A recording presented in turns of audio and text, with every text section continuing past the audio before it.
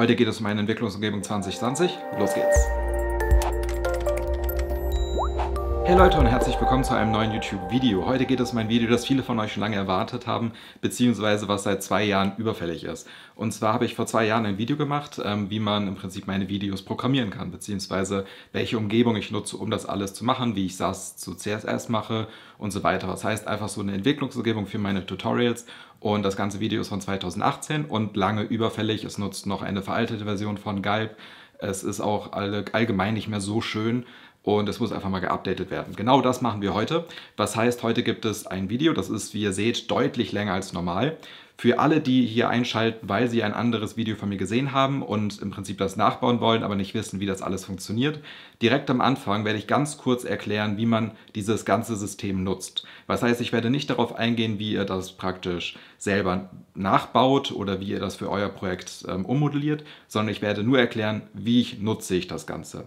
Unten in der Videobeschreibung sind auch zwei Breakpoints, was heißt, ihr könnt entweder direkt zum Nutzt springen, jetzt, oder ihr könnt unten direkt zur Erklärung springen, wie das alles funktioniert. Was heißt, entscheidet euch, ihr könnt natürlich auch das ganze Video gucken, ich würde mich freuen. Ansonsten, ja, werden wir dieses Video jetzt gemeinsam uns mal genauer ansehen.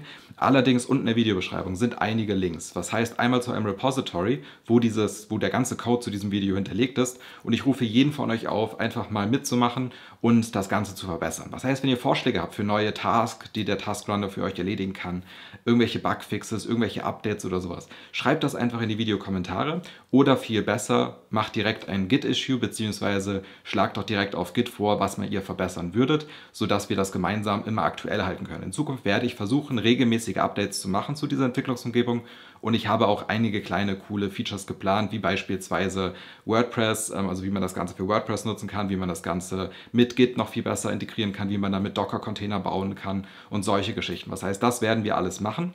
Prinzipiell ähm, ja, werden wir jetzt gleich loslegen, wenn ihr Fragen oder Probleme habt. Wie immer unten in der Beschreibung ist Discord. Schaut vorbei, sagt Hallo und join der Community. Ansonsten, ja, legen wir direkt los. Viel Spaß und auf geht's. So, los geht's mit dem heutigen YouTube-Tutorial. Hier findet ihr das, äh, meine Entwicklungsumgebung. Als erstes gibt es jetzt einen kleinen Guide, wie das alles einfach nur nutzbar ist, sodass ihr möglichst schnell mit meinen Tutorials starten könnt. Im Anschluss daran werden wir dann erklären oder ich werde erklären, wie ich das Ganze aufgebaut habe und wie es alles funktioniert, damit ihr in Zukunft das versteht. Falls ihr einfach nur schnell mein Tutorial nachvollziehen, nachprogrammieren wollt, dann müsst ihr jetzt einfach nur das machen, was ich hier habe. Was heißt, ihr habt hier mein Repository, was heißt, hier oben steht Unleash Design und dann Basic Web Environment 2020.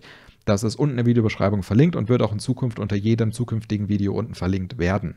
Wenn ihr das einfach nur nutzen möchtet, könnt ihr hier auf Git Clone klicken und hier einfach das Ganze einmal kopieren. Wenn ihr das getan habt, habt ihr quasi die, das Repository in euren Zwischenspeicher geladen und in dem Moment kann ich einfach hingehen und sagen, okay, ich habe hier meine Konsole, beispielsweise auf dem Desktop und sage jetzt hier einfach Git Clone Steuerung V für meinen Repository-Link, drücke auf Enter und ich beginne jetzt das ganze Ding zu klonen. In dem Moment, wenn ihr das geklont habt, solltet ihr auf eurem Desktop jetzt einen neuen Ordner haben. Dieser Ordner sollte in der Regel ähm, jetzt so heißen wie das Repository, wenn ihr es nicht umbenannt habt. Was heißt, ich kann jetzt mit CD und dem Repository-Namen, dem Ordnernamen damit, quasi in den Ordner reingehen und kann hier, das erste, was ich mache, ist npm, npm i eingeben ups, i. Damit sage ich npm install ist die ausgeschriebene Version und in dem Moment installiert er alle Dependencies, die für dieses Projekt relevant sind. Falls ihr wissen möchtet, welche das sind, findet ihr das in der Beschreibung, in dem Repository, in der Package.json. Da gehen wir einfach mal drauf und wenn ich hier ein bisschen ranzoome, dann müsst ihr das auch gut lesen können. Hier unten stehen nämlich Dev Dependencies und hier haben wir eine ganze Liste von Plugins, die wir im Laufe dieses Tutorials nutzen. Ich werde wie gesagt, erklären, wie man die installiert. Ich werde allerdings nicht jedes einzelne installieren. Was heißt, ähm, das sind alle, die gebraucht werden für dieses Package und die entwickeln sich jetzt oder installieren sich halt jetzt Step by Step durch. Ihr seht das hier, das dauert auch eine Weile und am Ende ist es fertig und das Ganze funktioniert. Das Einzige, was ihr im Anschluss daran noch tun müsst, ist hier Galb entweder einfach nur Galb einzugeben. Das bedeutet, er wird das Ganze einmal bauen. Was heißt, wenn ich das jetzt eingebe, würde das einmal installieren, läuft komplett durch und hat es komplett gebaut. Aber ihr seht, ich bin wieder in der Kommandozeile, was heißt, er hat kein Watch. Für die Entwicklung ist das natürlich blöd, weil ihr jedes Mal, wenn ihr eine Änderung machtet, machen würdet, wieder Galb eingeben müsst, um das Ganze quasi nochmal neu zu bauen und eine Preview zu sehen. Das wollen wir nicht, sondern das, was wir wollen, ist Galb dev. Was heißt nicht Galb dev, sondern npm run dev Wenn wir das machen, dann läuft im Prinzip das durch und ihr seht, wir landen hier nicht in der Konsole, sondern ich habe jetzt im Prinzip einen Watcher gestartet, der permanent überprüft, ob Dateien geändert werden und wenn etwas geändert wird, läuft der wieder durch. Ihr findet hier oben, äh, wenn man hier das anguckt, sieht man hier äh, Finish CSS, Starting Script und so weiter, der läuft durch verschiedene Jobs durch. Und hier oben, hier unten findet ihr Localhost 3000, was heißt, der müsste jetzt theoretisch bei euch auch das, euren Standardbrowser geöffnet haben und dort im Prinzip jetzt Localhost 3000 mit eurer Seite anzeigen. Zusätzlich findet ihr hier oben Linter, was heißt, ich habe hier, wie ihr seht, jede Menge Warnings in meiner main.sas und auch hier unten in der Variablen.sas und so weiter. Was heißt, wir haben hier auch jede Menge Linter drin. Falls ihr in Zukunft hier so irgendwelche Warnings oder sowas drin habt, seht ihr hier, wir haben hier einfach jede Menge Lint-Probleme. Das alles ist kein sonderliches Problem. Wir können die später beheben. Und falls ihr wissen wollt, wie ihr die selbst editieren könnt, wie ihr das alles erweitern könnt, dann bleibt dran, weil damit legen wir jetzt los. So, wir werden jetzt als erstes oder der erste wichtige Schritt, den man im Prinzip geht bei jedem Projekt, ist ein neues Repository anlegen. Bei meinem Fall in diesem GitHub zum Beispiel gehe ich oben auf das Plus, sage neues Repository anlegen, kann das Ganze verwenden. Mache ich jetzt in diesem Tutorial nicht. Sollte jeder von euch machen. Ihr solltet nur mit Git arbeiten, irgendein Framework, GitLab, GitHub, Bitbucket, wie sie alle heißen, ganz egal. Hauptsache ihr nutzt Git. Das ist das Wichtigste, was es als Entwickler aktuell gibt, würde ich sagen. Und wenn ihr das getan habt, kommt der nächste wichtige Schritt, wir installieren Node. Ähm, der Link hier zu dieser Seite ist unter Videobeschreibung verlinkt. Installiert einfach die LTS-Version, die Current ist immer verbuggt. Was heißt, das ist einfach noch in der Entwicklung. Es ist die latest Features, aber es hat halt immer Probleme. Hier steht nicht ohne Grund recommended for most users. Was heißt, installiert oder nutzt einfach für alles. Die Stable ist besser. Das hier sollte wirklich nur bewusst, wenn ihr wirklich die latest Features ausprobieren wollt, testen wollt und so weiter, dann könnt ihr das nutzen. Ansonsten nutzt das hier fahrt ihr definitiv besser mit. Wenn ihr das Ganze installiert habt, also ihr habt hier auf den Button gedrückt, die Installation durchgemacht, dann können wir in der Konsole, die öffne ich jetzt einfach mal, hingehen und sagen, okay, wir haben hier unser, unsere Konsole und dann sage ich hier einfach Node-V und in dem Moment solltet ihr 12.16.3 sehen. Gleichzeitig sollte npm-v ebenfalls eine Version zurückgeben und npx minus v sollte ebenfalls vorhanden sein. Das heißt, diese drei Sachen brauchen wir später, deswegen habe ich das jetzt mal hinzugefügt. Das nächste, was wir brauchen, neben, ähm, ja, neben unserem, äh, wie heißt das, neben Node, ist Galb. Und zwar Galb findet ihr hier. Auch der Link dazu ist unter der Videobeschreibung verlinkt. Hier steht auch nochmal beispielsweise, dass man diese Version überprüfen soll, bevor man es installiert. Also check for Node, was wir gerade schon getan haben.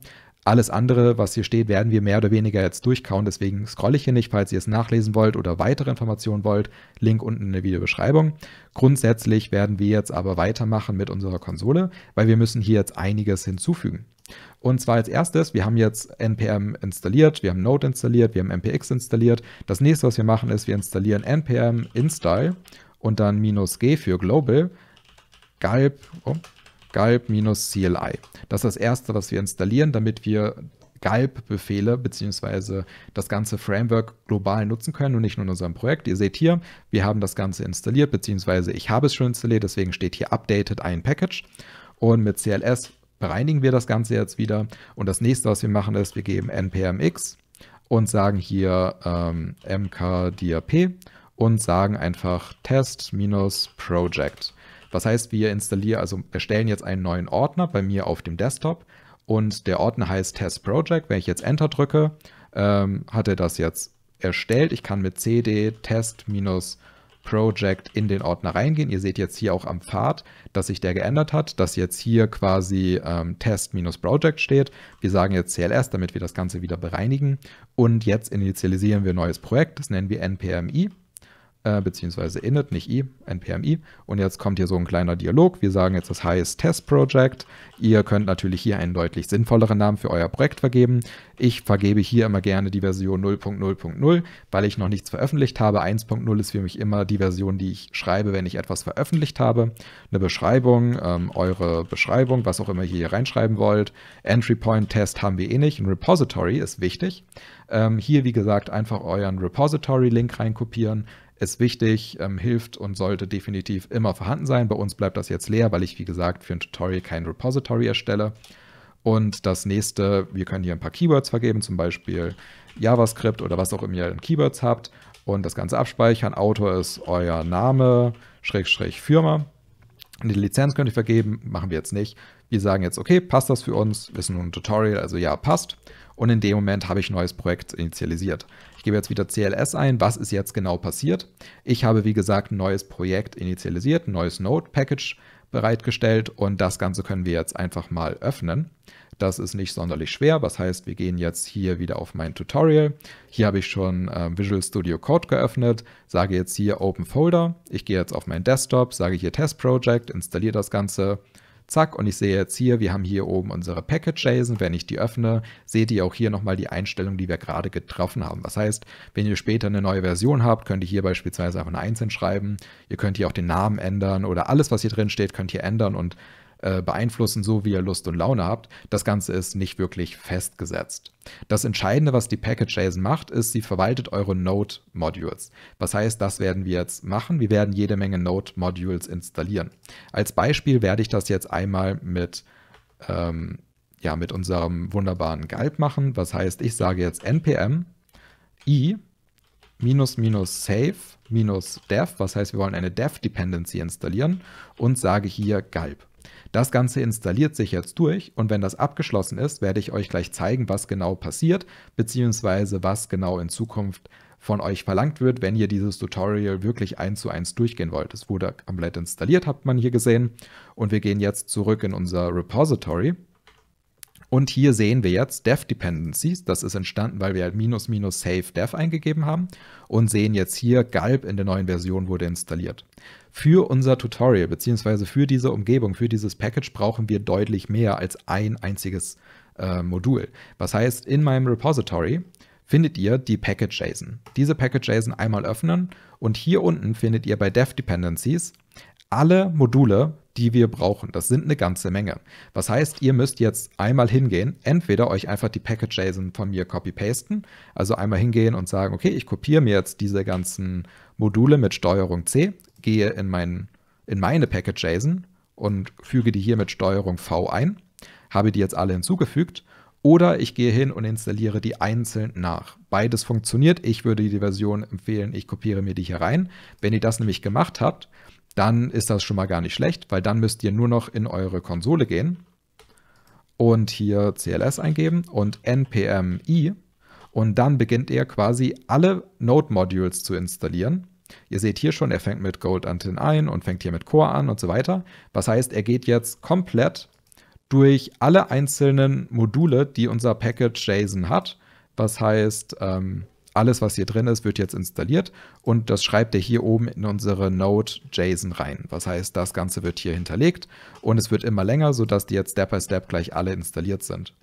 Wichtig ist, wenn ihr mit einem Repository arbeitet, was ich wie gesagt gerade nicht tue, dann müsst ihr in diesem Moment, wenn ihr hier mit einem Repository arbeitet, eine neue Datei erstellen und die nennt sich .git ignore. Und wenn ihr das gemacht habt, sagt ihr slash node-modules und speichert das Ganze ab. In dem Moment, bei mir passiert jetzt wie gesagt nichts, müsste sich bei euch der Ordner ausgrauen. Das bedeutet, dass in eurem Repository in Git unser Node-Modules-Ordner nicht mit gelockt wird. Das ist sehr wichtig, weil hier Tausende und Abertausende von Daten drin liegen, die echt nervig sind zu backuppen, weil jedes Mal, wenn sich verändert, habt ihr hier in eurem Git-Commit hunderte von Dateien und sowas, das wollt ihr einfach nicht. Deswegen sollte das immer auskopiert sein.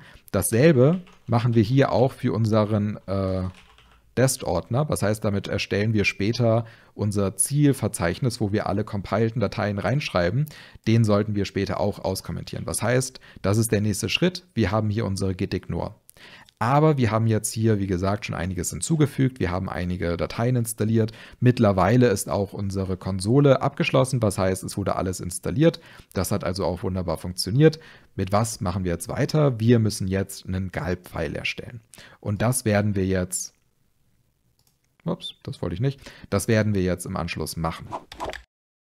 So, unser Galb-File ist ziemlich einfach zu erstellen. Wir gehen hier einfach nur rein, sagen neue Datei und sagen hier äh, galbfile.js. In dem Moment habe ich eine leere in Klammern JavaScript-Datei und kann beginnen, hier Sachen zu importieren. Wir müssen eine ganze Menge importieren. Das werde ich jetzt einfach mal rein copy-pasten und erklären, was genau das bedeutet. Ihr seht hier, wir haben jetzt auf einen Schlag hier eine ganze Menge Code drin. Und ihr seht schon, irgendwie kommen mir ein paar Sachen hier bekannt vor. Was heißt, wir müssen jetzt jedes einzelne Module definieren, was wir in, äh, gerade installiert haben. Was heißt, Galb beispielsweise ist hier in der Package.js, haben wir hier Galb. Das importieren wir hier oben. Dann Plumber haben wir im Prinzip auch hier irgendwo, müsste das stehen. Äh, jup, jup, jup, hier Plumber und dann importieren wir das. Was heißt, jeder dieser einzelnen Punkte ist im Prinzip einfach nur ein Node-Package, was wir nutzen, um das alles umzusetzen. Was genau die können, werde ich gleich Step by Step erklären, ähm, wenn wir sie halt verwenden. Das heißt, ich habe die hier auch so ein bisschen sortiert, nämlich einmal hier oben alles Wichtige, zum Beispiel Galb, damit läuft halt alles. Das ist unser Task Runner, der für uns später Aufgaben, wiederholte Aufgaben ausführt, damit wir sie nicht machen müssen. Dann Plumber ist im Prinzip einfach fürs Error-Handling, sodass unsere Pipelines weiterlaufen, auch wenn Fehler gefunden werden und so weiter. Rename kann Dateien neu benennen. Was heißt, wenn wir beispielsweise aus vielen JavaScript-Dateien eine neue JavaScript-Datei machen, die minifiziert ist, können wir das .min damit hinterherhängen und so weiter. Browser Sync ist dafür da, dass sich automatisch diese Seite, die wir gleich bauen werden, refresht. Was heißt, in dem Moment, wenn wir etwas ändern, soll die sich automatisch aktualisieren, ohne dass wir das tun müssen. Das Schöne ist, das funktioniert auch beispielsweise, wenn ihr auf eure Seite mit dem Tablet drauf geht, sodass ihr, wenn ihr eine Seite baut, wirklich nur ein einziges Mal das Ganze öffnen müsst. Dann haben wir ähm, das hier, das ist im Prinzip auch für Error Handling. Und hier unten haben wir Source Map dafür, dass wir beispielsweise komprimierte SAS-Dateien und so weiter wieder aufschlüsseln können. Das ist einfach, zeige ich später, was das genau macht. Ist sehr, sehr praktisch und sollte definitiv hinterlegt werden.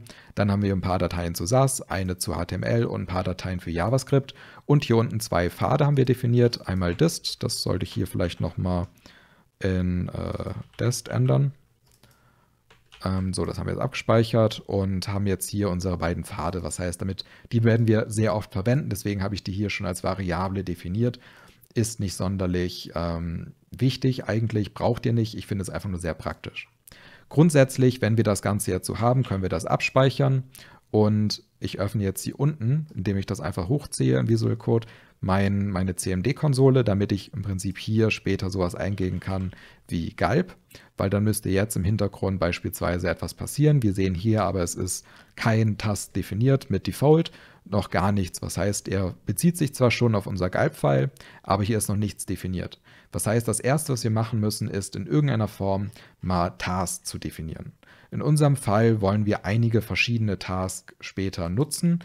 Und ähm, ich schreibe jetzt hier unten einfach mal hin, äh, Default Function für Galb, das ist in unserem Fall Export, Punkt, und dann sagen wir hier Default. Und unsere Default Function wird später Bild sein.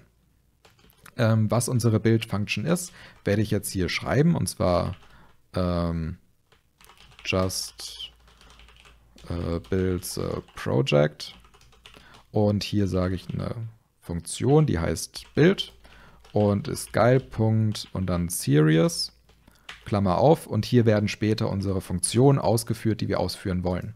Wenn wir das Ganze jetzt speichern und hier unten nochmal Galb eingeben, dann sehen wir in dem Moment, dass das Ganze durchläuft, beziehungsweise hier ein Fehler läuft. Und zwar funktioniert hier irgendwas noch nicht. Wir haben halt noch nicht wirklich was ergeben. One or task should be combined using parallels. Was heißt, wir haben hier noch nichts definiert. In unserem Fall wollen wir jetzt einfach damit mal anfangen, eine HTML-Datei zu definieren. Was heißt, wir haben ja hier unser Projekt an der Seite und ein gutes Projekt besteht aus Source-Files. Deswegen erstellen wir uns eine neue, einen neuen Ordner, sagen src, also für Source, und sagen hier, eine neue Datei wollen wir hier drin erstellen, sagen wir index.html. Diese Index.html sagen wir Index.html, zack, bisschen Boilerplate-Code. Was heißt, das Ganze ist jetzt erstmal fertig. Wir haben hier eine Index.html, schreiben in unseren Body noch ein bisschen was rein speichern das Ganze ab und das liegt jetzt hier drin. Wir können das aber nicht aufrufen. Das wollen wir gerne tun. Was heißt, wir wollen aus unserer Index.html später einmal dafür sorgen, dass wir in unserer Datei keine Kommentare mehr drin haben. Beispielsweise haben wir ja in unserer Entwicklungsumgebung, wenn ihr richtig schön sauberen Code geschrieben habt, stehen hier jede Menge nützliche Informationen drin, manchmal mehrere Zeilen für eine Zeile Code, was auch immer das bedeutet. Aber der muss ja nicht später, eure Kommentare müssen ja nicht später mit in dem fertigen Projekt liegen. Und die wollen wir entfernen. Wir wollen beispielsweise ungenutzte Attribute entfernen, äh, Whitespace, äh, wir wollen ähm, einfach der Ordnung halber unsere Klassen alphabetisch sortieren, die wir unseren Attributen mitgeben.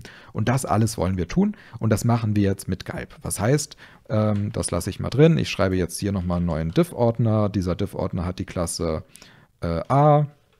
aber auch die Klasse B und dann kommt die Klasse A und dann kommt die Klasse C und H. Was heißt, wir haben hier fünf Klassen vergeben und wir haben hier beispielsweise auch noch ein Attribut, das heißt Style, das nutzen wir gerade gar nicht.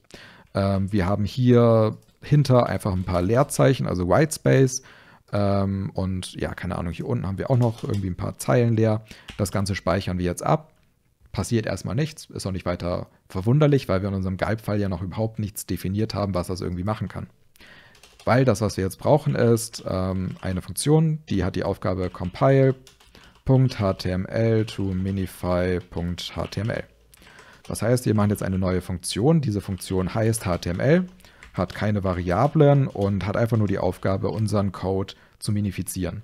Dafür sagen wir return galb.src, was heißt, wo liegen unsere Dateien, die wir finden wollen, beziehungsweise die wir komp äh, komprimieren wollen und verändern wollen, die liegen hier in unserem src-Ordner. Deswegen habe ich das vorhin schon gemacht, was heißt, ich sage jetzt hier, okay, wir haben ja unseren Ordner, also unseren Pfad, der heißt src und hier wollen wir im Anschluss einfach nur sagen, slash alle, egal wie die genannt sind, .html-Dateien wollen wir ansprechen und verändern. Und in unserem Fall wollen wir die als erstes einfach mal wegspeichern. Das heißt, wir wollen die in unserem galb.dest, Klammer auf, und hier sagen wir ebenfalls eine Variable, und zwar sagen wir hier dest und wir wollen die jetzt einfach da drin abspeichern und zack, fertig. Und diese HTML-Datei soll jetzt oder diese HTML-Funktion soll ausgeführt werden, immer wenn ich Bild eingebe. Was heißt, ich bereinige das hier unten mal eben, sage Galb und in dem Moment sollte hier das jetzt durchgeführt werden. Ihr seht hier, er hat Default gestartet, hat HTML gestartet, hat HTML nach 16 Millisekunden gefinisht und im Anschluss halt Default gefinisht. Ihr seht hier oben habe ich jetzt einen neuen Dest-Ordner. In diesem Dev-Ordner liegt mein Index HTML, die sieht halt genauso aus wie meine Ursprungsindex HTML. Das soll später nicht der Fall sein. Was heißt, wir haben jetzt erstellt, dass ein HTML-Call durchläuft, also dass ein Pipeline durchläuft und jetzt können wir anfangen, das zu verändern. Das erste ist, wir starten Plumber. Was heißt, wir sagen hier Pipe und hier drin sagen wir äh, Plumber, Klammer auf. Und das ist, wie gesagt, haben wir hier oben hinzugefügt und können das jetzt hier ohne weiteres verwenden, indem wir das wir hier unten im Prinzip aufrufen, sollte, wenn hier irgendwo Fehler auftauchen, unsere Pipeline nicht abbrechen. Das nächste, was wir brauchen, wir haben hier oben ja einen HTML-Bereich. Hier haben wir nur HTML-Min. Das kopiere ich mir jetzt, sage ich unten Punkt, Pipe, Klammer auf, sage hier HTML-Min, Klammer auf, geschweifte Klammern auf, Leerzeichen. Und kopiere mir jetzt als erstes mal rein, wir wollen remove comments, was heißt, das setzen wir auf true, speichern wir ab, sagen hier einmal galb, lassen das durchlaufen. Und jetzt gehen wir auf unsere komprimiertes Datei und hier fehlt unser Kommentar, obwohl er hier noch da ist. Was heißt, das funktioniert schon mal. Sehr gut. Dann wollen wir HTML5 verwenden. Machen wir auch. Zack. Sollte sich jetzt theoretisch nichts verändern, weil ich das sollte immer noch HTML5 sein. Ähm, wenn da irgendwie Alternativen herrschen oder ersetzen, solltet ihr das jetzt komprimieren und verbessern. Das nächste, was wir machen, ist, wir sagen äh, remove äh, empty attributes, speichern wir ab, zack, lassen das wieder durchcompilen und in dem Moment haben wir hier Style fehlt, obwohl Style hier noch drin ist, weil es ist leer, hat damit keine Wirkung und ist sinnloser Code. Deswegen wollen wir das entfernen. Außerdem sagen wir, wir wollen noch ein paar mehr Sachen entfernen, wie beispielsweise wir wollen äh, remove whitespace, wir wollen die sortieren, also wir wollen die Attribute sortieren und wir wollen die Klassen sortieren. Das Ganze speichere ich jetzt ab, lasse durchlaufen und in dem Moment sind beispielsweise hier unsere einzelnen Punkte sortiert. Das funktioniert schon wunderbar und wir können das jetzt im Prinzip so schon gar nicht schlecht verwenden. Allerdings haben wir hier irgendwo noch einen kleinen Fehler. Ah, natürlich, ich habe den wichtigsten Befehl vergessen, war ja klar. Und zwar sage ich jetzt hier Collapse Whitespace. In dem Moment, wenn ich das jetzt nochmal ausführe, rennt er wieder durch. Und in dem Moment sieht unsere HTML-Datei so aus, was heißt, er hat alles entfernt, was nicht irgendwie notwendig ist. Und das Ganze wird jetzt schön zusammengedrückt auf eine Zeile Code. Ihr seht auch hier, wir haben nur noch eine Zeile Code. Das heißt, das Ganze hat wunderbar funktioniert. Unser HTML wird quasi jetzt korrekt minifiziert und verändert, sodass am Ende was Sinnvolles dabei rauskommt. Aber das ist natürlich nicht alles. Nummer eins, wir wollen ja nicht nur HTML verwenden, sondern vor allem auch sowas wie SAS. Und deswegen legen wir jetzt in unseren Source-Ordner ein neues Verzeichnis an, das nennen wir SAS. In unserem SAS-Verzeichnis haben wir einmal eine main.sas und in dem Fall vielleicht auch noch eine neue Datei unterstrich var.sas für die Variablen beispielsweise. Ähm, das Ganze können wir jetzt hier oder haben wir jetzt wunderbar hinterlegt. Wir sagen jetzt hier in unserer Variablen.sas haben wir Body und hier haben wir Background Color und Background Color sagen wir jetzt in unserem Fall ist einfach mal FF, FF äh, 00. Das heißt einfach gelb. Das Ganze speichern wir jetzt ab und unsere Main SAS sagen wir Import. Punkt, zack, war. So, das Ganze speichern wir jetzt ab und in dem Fall haben wir unsere Variable SAS in unsere Main SAS importiert und können das Ganze mal schließen, weil das soll ja erstmal nur ein Test sein. Und was wir auch noch machen müssen, ist, das können wir schließen. Wir gehen in unsere Index.html und hier oben im Titel füge ich jetzt einfach mit Link CSS und sage, wir wollen Punkt, zack, ähm, im Prinzip von unserer Index.html wollen wir in CSS gehen, zack, und sagen hier ähm, wir nennen das jetzt mal style.min.css aufrufen. Wenn ich das Ganze jetzt abspeichere und hiermit compile, dann compilt er mir hier wieder meine Index.html los. Ich habe auch hier oben jetzt korrekt das drin verlinkt. Wenn ich jetzt auf meine Seite gehe, beziehungsweise diese Datei im Browser öffne, dann ist die weiß. Wir können hier auch auf Untersuchen gehen und werden hier einen Fehler angezeigt bekommen. Was heißt, er findet meine min-style-css nicht. Was heißt, er findet die nicht, weil einfach im Prinzip die Datei nicht existiert. Hier in diesem Verzeichnis liegt keine Datei drin. Und das müssen wir jetzt als erstes machen. Wir gehen jetzt hier also raus und sagen, okay, wir brauchen eine neue Funktion. Äh, compile SAS zu CSS. Dann sagen wir, zack, CSS, eine neue Funktion. Chuck. Und hier drin machen wir jetzt einiges dasselbe. Was heißt, ich kopiere mir jetzt einfach mal diesen Bereich hier unten füge den hier hinzu. Damit wir ein bisschen mehr Platz haben, mache ich das mal klein. Und das hier unten mache ich auch noch ein Stück kleiner. So, das, was wir nicht mehr brauchen, ist dieses hier. Und wir wollen ja in Zukunft hier oben ähm, im Prinzip alle Pfeile, die in unserem SAS-Verzeichnis sind und hier gegebenenfalls in allen Unterverzeichnissen und dann egal wie die heißen und wenn die mit SAS enden, wollen wir ansprechen und später wollen wir die hier in slash css abspeichern also in einem neuen Verzeichnis. Wir starten auch hier Plumber. Allerdings machen wir jetzt direkt weiter mit deutlich mehr äh, Pipeline-Funktionen. Und zwar das erste, was wir machen, ist, wir lassen einen CSS-Linter durchlaufen. Was heißt, ähm, das kopiere ich mir auch mal kurz einfach hier rein, ähm, weil ich einfach keine Lust habe, das zu schreiben. Und zwar sagen wir CSS-Lint. Hier sagen wir Formatter stylish, was heißt, wir wollen, dass das alles sauber hier unten in der Pipeline angezeigt wird. Ähm, hier habe ich ein paar Rules definiert, die könnt ihr ganz weglassen oder ihr könnt sie verändern, wie ihr wollt. Beispielsweise sage ich, es dürfen keine IDs verwendet werden, ähm, es darf oder es muss kein Final Whitespace sein. Und wie, wie gesagt, also ihr könnt das hier verändern, so wie ihr Lust und Laune habt. Und das wird euch einfach nur euren Code linden in dem Moment, wenn ihr die CSS-Funktion aufruft. Und das nächste, was wir machen, ist, wir formatieren unseren CSS Code einmal dementsprechend sagen einfach äh, CSS lint und dann Format. Die beiden Sachen haben wir hier oben einfach schon hinzugefügt. Das liegt hier beides drin. Was heißt, das können wir damit wunderbar aufrufen. Das Ganze hilft uns jetzt aber noch nicht so richtig, weil wir haben immer noch SAS-Code. Wir wollen aber keinen SAS-Code, sondern wir wollen CSS-Code, der von einem Browser gelesen werden kann. Um das zu ermöglichen, machen wir jetzt im Prinzip erstmal eine Source Map. Und beziehungsweise das machen wir noch nicht. Wir sagen jetzt erstmal, wir wollen das Ganze einfach nur zu SAS äh, ja, Pipeline durchführen, dass das SAS am Ende bei rauskommt. Das Ganze können wir ganz einfach machen. Wir sagen jetzt hier drunter, zack, compile äh, SAS zu CSS. In unserem Fall soll, ups, was ist hier für ein Fehler? Ah, ich habe hier natürlich nicht alles mit rüber kopiert, selbst schuld. Und zwar sage ich jetzt hier, wir rufen die SAS-Funktion auf, die wir hier oben ebenfalls verlinkt haben und sage jetzt hier, okay, wir wollen das Ganze synchronom outputten mit Output Style Compressed und ähm, wenn irgendwie Error passieren, dann sollen wir auch mit dem Modul einen Error-Log durchführen. Das müssen wir machen, damit Plumber später richtig funktioniert, sonst werdet ihr Fehler ausgegeben bekommen. Wenn ich das Ganze jetzt hier habe und hier Galb ähm, eingebe, wird erstmal nichts passieren, weil wir unser CSS hier oben noch nicht verlinkt haben. Das wollen wir hier unten bei Bild ebenfalls ausführen. Das Ganze speichere ich jetzt ab, führe einmal Galb aus ups, hier unten und ihr seht jetzt, CSS ist durchgelaufen und ihr seht hier, dass wir beispielsweise hier zwei Probleme haben, keine Error, aber zwei Warnungen. Was heißt, hier steht beispielsweise Color Literal such as, was wir vorhin da reingeschrieben haben, should only be used in variables declarations, no color literals. Was heißt, äh, SAS verlangt eigentlich, dass ich jetzt beispielsweise für meinen Farbcode sowas mache wie, ähm, ich schreibe hier oben äh, Yellow, Doppelpunkt und schreibe das hier da oben rein und vergebe dann hier unten Yellow. Und in dem Moment kann ich jetzt hier einfach Gelb aufrufen und sollte jetzt eigentlich nur noch einen Fehler sehen. Äh, beziehungsweise, nee, ich kriege direkt den nächsten Fehler. Ähm, die sollten shorted sein, was heißt, theoretisch sollte ich ja auch mit dem Code gelb sehen.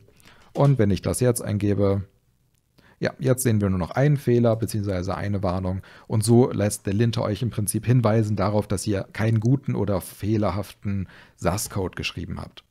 Prinzipiell ist das schon mal nicht schlecht. Was heißt, wir sehen jetzt hier oben unseren CSS-Ordner.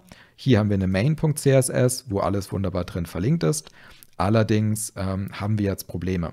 Und zwar, wenn ich jetzt hier raufklicke, beziehungsweise wenn ich das hier aktualisiere, haben wir hier immer noch main.css.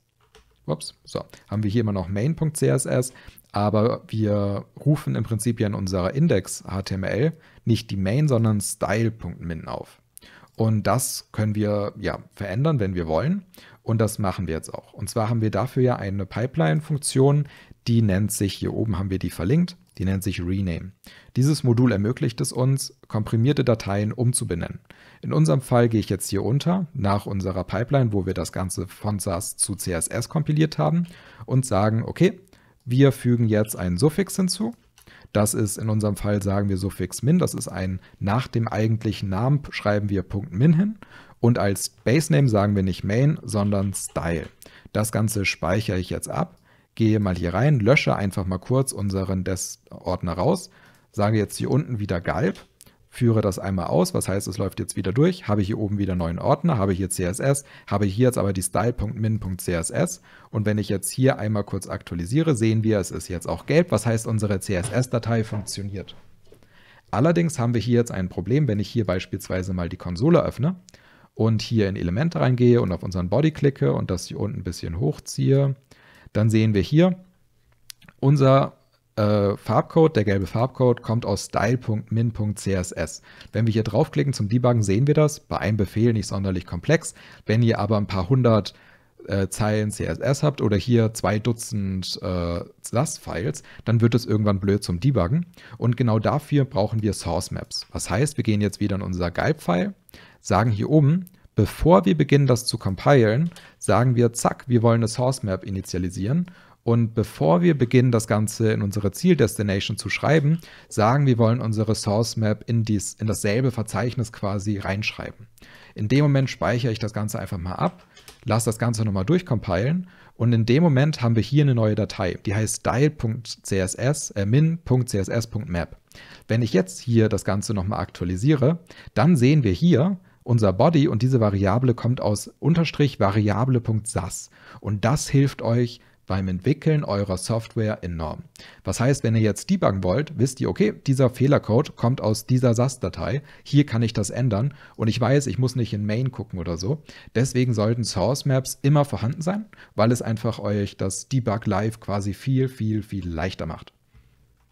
Ähm, grundsätzlich müssen wir jetzt noch etwas machen, und zwar CSS, ein kleinen, eine kleine Hilfe quasi. Und zwar sagen wir, wenn das Ganze compiled ist zu CSS und wenn das Ganze renamed ist, dann wollen wir das Ganze auch noch mit PostCSS und CSS Nano bzw. Autopräfixer, wollen wir das ein bisschen verbessern. Und in dem Moment, wenn ich das jetzt ausführe, läuft er hier wieder durch, er stellt mir das hier neu und in dem Fall verändert er jetzt nichts, aber theoretisch würden die beiden Module euch beispielsweise Autopräfixe, sowas wie äh, WebKit, MS und so weiter, selbstständig hinzufügen, ohne dass ihr das tun müsst. Er spart eine Menge Arbeit, ihr müsst da nämlich nicht mehr dran denken, deswegen sollte das auch auf jeden Fall vorhanden sein.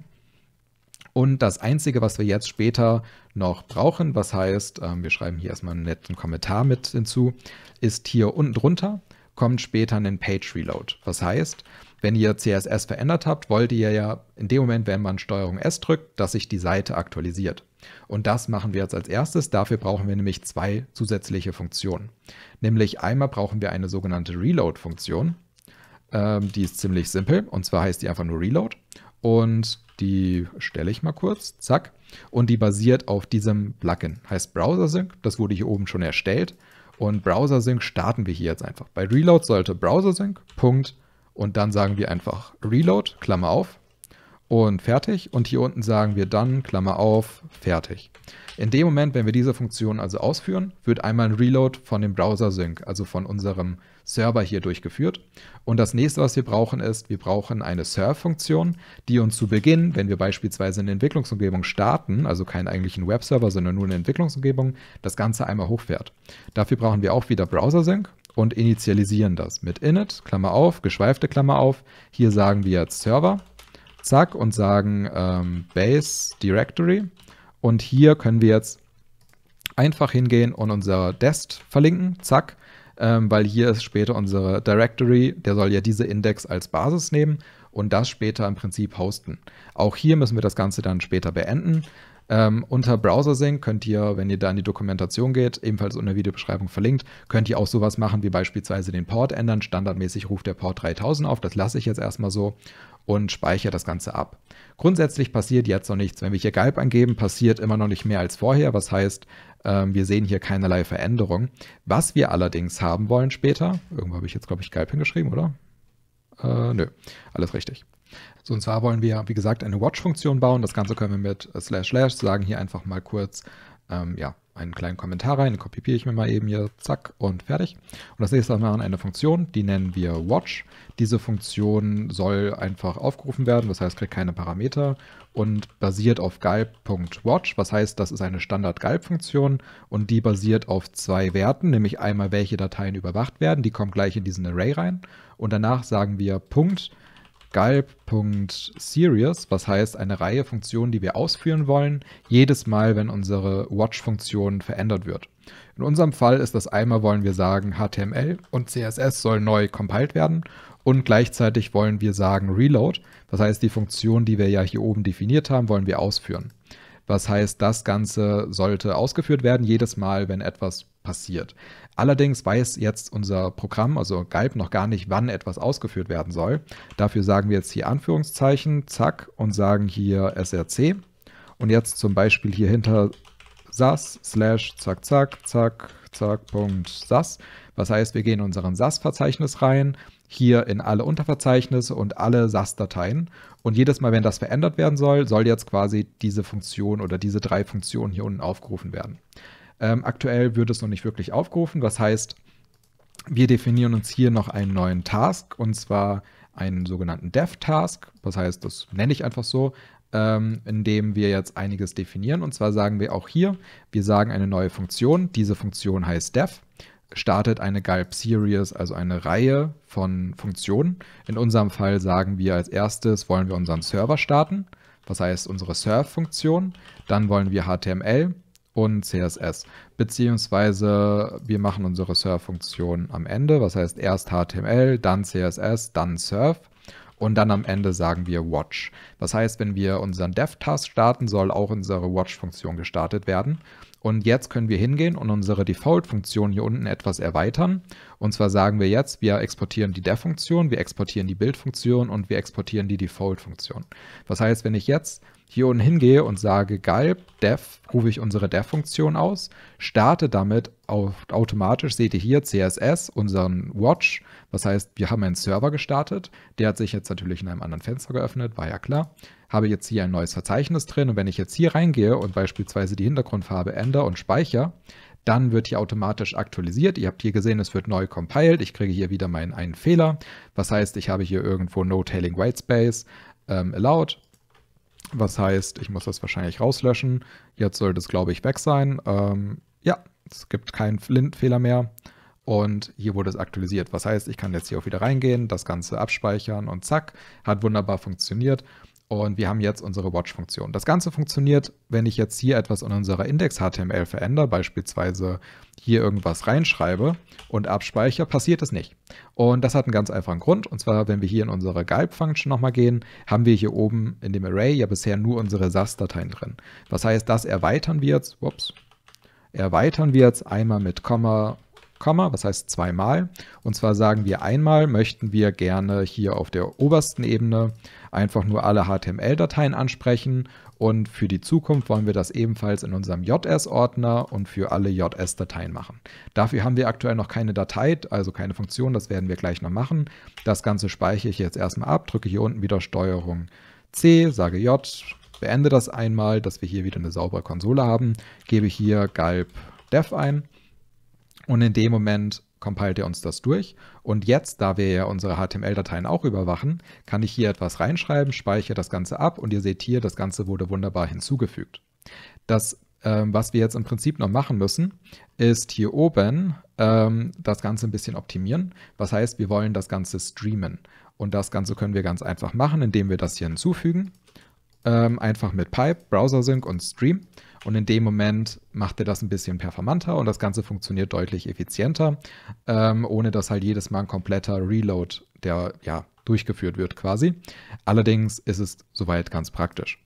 So, wie ihr seht, haben wir jetzt CSS-Dateien, die funktionieren wunderbar. Wir haben hier auch wunderbar kompilierte HTML-Dateien, das funktioniert auch super. Was uns jetzt noch fehlt, sind JavaScript-Dateien. Was heißt, in meinen Tutorials geht es viel um JavaScript, deswegen kommen wir nicht umzu, eine JavaScript-Funktion auch hier zu implementieren. Und das Ganze wird jetzt gleich erstellt. Das heißt, wir brauchen hier einen neuen Ordner, den nennen wir JavaScript, haben hier beispielsweise eine neue Datei, die nennen wir main.js und wir haben natürlich in unserer Index.html hier unten im Body auch ein äh, äh, Script Tag äh, Script src. Hier sagen wir Punkt slash js slash main.min.js. Das Ganze speichern wir jetzt ab und fügen wir hinzu. Es wird jetzt neu compiled, hat wunderbar funktioniert. Allerdings kriegen wir, wenn wir hier eine Konsole öffnen, definitiv einen Fehler ausgegeben. Was heißt, er findet meine main min JS nicht. Das ist ja auch korrekt so, weil wir haben ja auch keine. Hier oben existiert hier keine. Und das Ganze werden wir jetzt anlegen. Um das Ganze zu überprüfen, sage ich jetzt hier console.log, sage jetzt hier einfach mal Test. Was heißt, wir wollen ja später sehen, ob unsere Main korrekt verlinkt ist, sodass wir das auch sehen können. Und jetzt brauchen wir als erstes eine neue Funktion. Und die sieht ähnlich aus wie unsere HTML- bzw. CSS-Funktion. Das heißt, wir haben eine neue Funktion, die heißt Script. Script soll ausgeführt werden ähm, jedes Mal, wenn sich, wenn das Ganze gebildet wird. Was heißt einmal hier unten. Auch wollen wir CSS beim initialen Bild ausführen und wir wollen die Script-Funktion jedes Mal, ups, jedes Mal ausführen, wenn irgendwo eine JavaScript-Datei oder irgendwas verändert wird. Ihr könnt diese Watch-Datei natürlich auch auslagern, dass ihr beispielsweise äh, nur die, CS, die CSS-Funktion ausführt, jedes Mal, wenn irgendwas ausgeführt wird. Wie gesagt, ich finde es so prinzipiell gar nicht schlecht.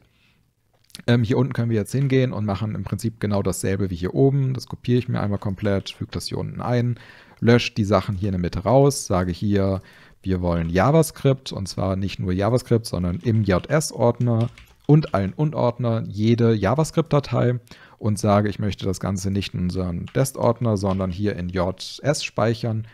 Speichere das Ganze ab, beende unsere Galb-Funktion, starte Galb neu. In dem Moment startet sich das natürlich alles wieder in einem neuen Tab. Das heißt, ich muss das wieder hier rüberziehen.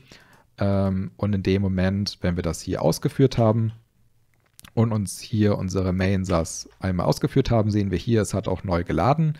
Allerdings hat hier irgendetwas noch nicht funktioniert, was heißt, ähm, unsere Skriptfunktion wurde hier zwar geführt, aber wurde hier noch nicht weggespeichert. Warum ist das so? Weil wir hier Ja reingeschrieben haben. Das ist natürlich selten dämlich. Was heißt, nochmal ausführen, nochmal starten, und in dem Moment haben wir hier unseren JS-Ordner, haben hier unsere Main-SAS, die, äh, Main.js, die genauso aussieht wie unsere normale JS. Das wollen wir natürlich nicht. Ähm, deswegen müssen wir jetzt erstmal ein bisschen was erweitern. Und zwar als erstes erweitern wir unseren Plumber. Unser Plumber erweitern wir mit äh, G-Unit. Was heißt, wir sagen hier einfach, wir wollen Error-Messages locken, ähm, damit unsere Pipeline nicht abstürzt. Dafür nutzen wir jetzt im Prinzip ähm, dieses Plugin und halt Plumber. Und das ermöglicht uns einfach nur das Durchführen von Problemen, wenn wir irgendwie in eine, ja, in eine Geschichte reinlaufen. Das nächste, was wir machen, ist dasselbe wie bei CSS, deswegen kopiere ich mir das einfach rein, ohne viel zu erklären. Wir erstellen auch hier eine neue Source Map. Was heißt, wenn ihr hier zehn verschiedene JavaScript-Dateien habt, wie zum Beispiel ein Slider, ein Menü und so weiter, seht ihr später, aus, welchem, aus welcher Datei euer Code stammt, der Fehler verursacht. Und natürlich müssen wir auch hier unsere Source Map am Ende wieder hinzuschreiben. Was heißt, bevor wir das Ganze abspeichern, soll es halt auch hinzugeschrieben werden.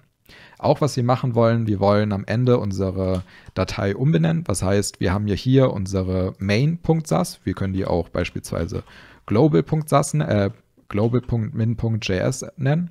Und hier sagen wir Basename ist jetzt global und dann Suffix ist min. Das heißt, wenn wir das Ganze abspeichern und hier beenden und das Ganze mal Ausführen sehen wir jetzt hier. Wir haben jetzt hier unsere Global Min und auch hier eine Map. Was heißt, wir haben hier eine Map und wir haben hier die Global Min. Das heißt, das funktioniert wunderbar und hilft uns schon mal, das Ganze ein bisschen zu managen. Grundsätzlich werdet ihr bei JavaScript, wie schon gesagt, häufig die Situation haben, dass wir einen neuen Pfeil haben. Beispielsweise nav.js ist ein Pfeil. Hier steht auch ein Console-Log drin mit nav. So, wir haben jetzt zwei Dateien und wir wollen aber später nur eine Datei verlinken. Das soll alles schön zusammengeschrieben werden und um das zu tun, gibt es ein Modul, das nennt sich concat. Und nachdem wir unser Source initialisiert haben, rufen wir diese Funktion auf, heißt concat, haben wir ebenfalls hier oben verlinkt. Ist auch ein ganz normales äh, Gulp-Modul und wir sagen, er soll jetzt einfach in unserem Verzeichnis alle JavaScript-Dateien nehmen, die es gerade über, also im Log hat quasi und das alles in der concat.js zusammenschreiben. Im Anschluss daran nutzen wir Babel, weil wir nutzen auch in Zukunft in meinen Tutorials häufig ES6, was heißt Funktionalitäten, die nicht ganz normal JavaScript sind. Das heißt, als nächstes gehen wir hin und sagen, mit Babel wollen wir aus unserer Concat.js ja, lesbare, normalen JavaScript-Code machen. Dann finde ich es persönlich immer sehr wichtig, einen Linter zu haben. Das heißt, wir sagen hier, wir rufen ganz normal JS-Hint auf, ist auch wieder hier oben eine ganz normale Modul, verlinken wir einfach nur und sagen, wir wollen uns das Ganze, wenn wir irgendwo Lint-Probleme haben, uns zeigen lassen. Und wir sagen jetzt, in dem Moment wollen wir auch einen Reporter haben, weil wir wollen uns das anzeigen lassen. Das heißt, wir haben jetzt hier beispielsweise JS-Hint Reporter, JS-Hint-stylish. Das Ganze speichern wir jetzt ab. Ich aktualisiere das Ganze mal, sage gulp dev. Und in dem Moment haben wir jetzt hier unten, ähm, sind wir durchgelaufen. Das Ganze hat sich neu gestartet, natürlich wieder in einem neuen Tab. Ähm, und wenn ich jetzt hier drin bin, sehen wir, dass auch unsere beiden Sachen durchlaufen. Und wir sehen auch hier, das kommt aus der Main.js und das kommt aus der Nav.js. Was heißt, auch unsere Source Maps funktionieren wunderbar und wir können jetzt damit schon eine ganze Menge machen. Und wenn ich beispielsweise ähm, jetzt hier irgendwie sowas drin habe, wie ich habe ein Anführungszeichen vergessen, dann sollte mir normalerweise der Linter anschlagen. Ähm, natürlich tut er das nicht, weil er nicht äh, passend genug eingestellt ist. Beziehungsweise es ist einfach kein Fehler. Interessant. Ah, jetzt kommt's. Jetzt kommt hier nämlich im Prinzip unser Unexpected äh, Change. Was heißt, wir sehen hier, dass irgendein Fehler existiert, können das Ganze speichern und immer verändern. Funktioniert wunderbar. Was heißt, unsere Pipeline stützt nicht ab, wenn wir einen JavaScript-Fehler reinprogrammieren, sondern sagt uns einfach, wo dieser Fehler liegt. Und das ist ja genau das, was wir eigentlich wollen.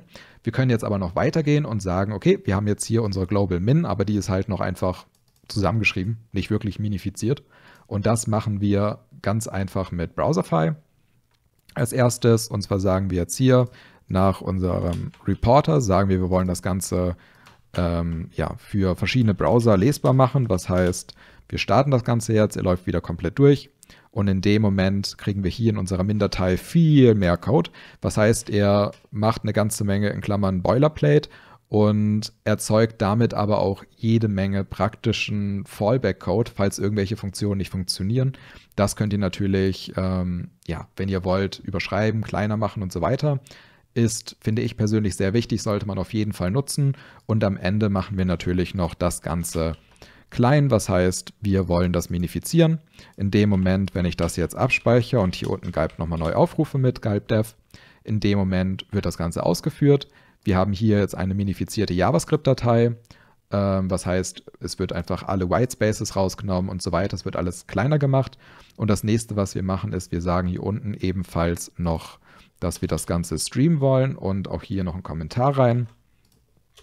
Was heißt, in dem Moment sind wir quasi fertig. Wir haben jetzt dafür gesorgt, dass unsere Anwendung quasi eine ganze Menge unterstützt. Was heißt, wir können jetzt hier hingehen und sagen, wir können jetzt hier auch beispielsweise const äh, test gleich test, zack, ähm, speichern das Ganze ab, fügen das hier ein, fügen das hier einmal aus, zack, und jetzt sehen wir hier auch einen Lint-Error, nämlich dass unavailable ist in normal, also wir müssen eher 6 definieren und das ist etwas, was wir noch tun müssen. Was heißt, wir gehen in unser Ursprungsverzeichnis, gehen hier rein, erstellen ein neues File, sagen Punkt ES lint äh, und dann rc, öffnen diese Datei. Und in dieser Datei müssen wir ein ganz bisschen Code hinzufügen. Und zwar sagen wir einfach nur das, speichern das ab, aktualisieren das. Und in dem Moment wird uns einmal in unserer Datei nicht mehr dieser Fehler hier oben angezeigt. Auch in Galb wird jetzt dieser Fehler hier oben nicht mehr angezeigt, weil er jetzt weiß, dass wir ES6 nutzen. Und hier drin haben wir jetzt im Prinzip immer noch den Fehler halt, das, den Warning, dass wir halt ES6 nutzen. Das ist nicht weiter tragisch. Wir könnten jetzt theoretisch, wenn ich nochmal in unsere Galb-File reingehe, könnte man den Lint halt drehen. Was heißt, ähm, ich könnte jetzt hingehen und sagen, ich möchte unseren Linter erst nutzen, nachdem wir das Ganze mit Browserify angepasst haben beispielsweise oder sowas, dann würde das wahrscheinlich nicht mehr anschlagen, weil er das schon umcompiled hat. Ich persönlich finde es aber praktisch, das zu wissen und darauf hingewiesen zu werden, dass ich gerade ES6 nutze. Das kann man, wie gesagt, auch einfach ausblenden, wenn man hier beispielsweise ES6, beziehungsweise wir können das, glaube ich, einfach hier oben hinzufügen. Ähm, bin ich mir nicht ganz sicher, ob das funktioniert, müsste man nachlesen. Ähm, ne, es funktioniert so nicht.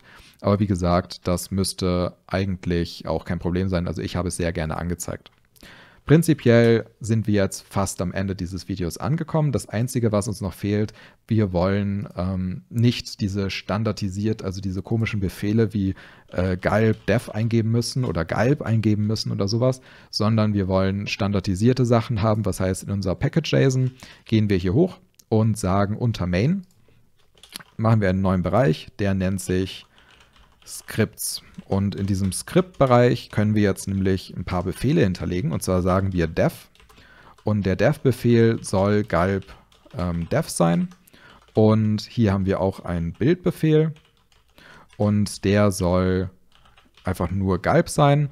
Und in dem Moment, wenn ich das Ganze so abgespeichert habe, beziehungsweise das können wir rauslöschen, ähm, speichere ich das Ganze mal ab, schließe das hier und kann jetzt hingehen und einfach nur sagen npm run dev und in dem Moment seht ihr, er startet galb dev und führt das alles aus und ich muss mir nicht irgendwelche komischen äh, Parameter oder so merken. Was heißt, ihr könnt hier beispielsweise Galb, wenn ihr euch da ein bisschen tiefer einlegt, auch sowas machen wie ähm, beispielsweise Production oder sowas mitgeben. Und das kann man dann alles hier reinschreiben in Scripts, ohne sich das merken zu müssen, sondern muss sich einfach nur merken npm dev, npm build, npm test und so weiter. Das heißt so standardisierte Abläufe.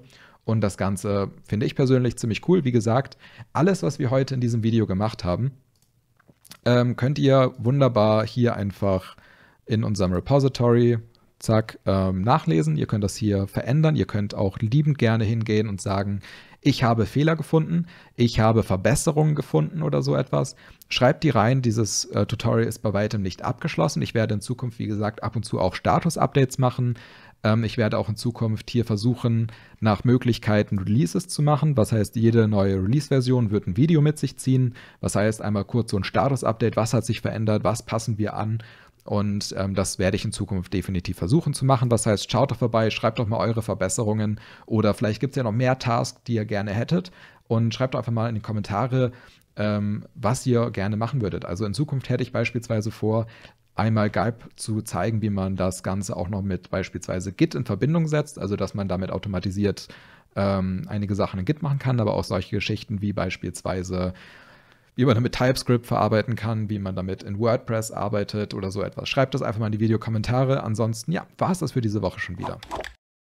So, das war schon wieder für diese Woche. Wenn euch das Video gefallen hat, hinterlasst doch einen Daumen hoch oder einen Kommentar unter dem Video oder wie schon gesagt, hinterlasst doch auf Git einfach ein Issue oder einen Vorschlag für einen Feature Request. Ansonsten, ja, wenn ihr diese Channel unterstützen wollt, findet ihr ganz oben in der Videobeschreibung einen Link zu verschiedenen Affiliate-Partnern oder meinen Social Networks. Ansonsten, wenn ihr diese Channel unterstützen wollt, könnt ihr auch Google äh, bzw. auf YouTube abonnieren und natürlich ansonsten sehen wir uns nächste Woche wieder. Bis dahin viel Spaß und ciao.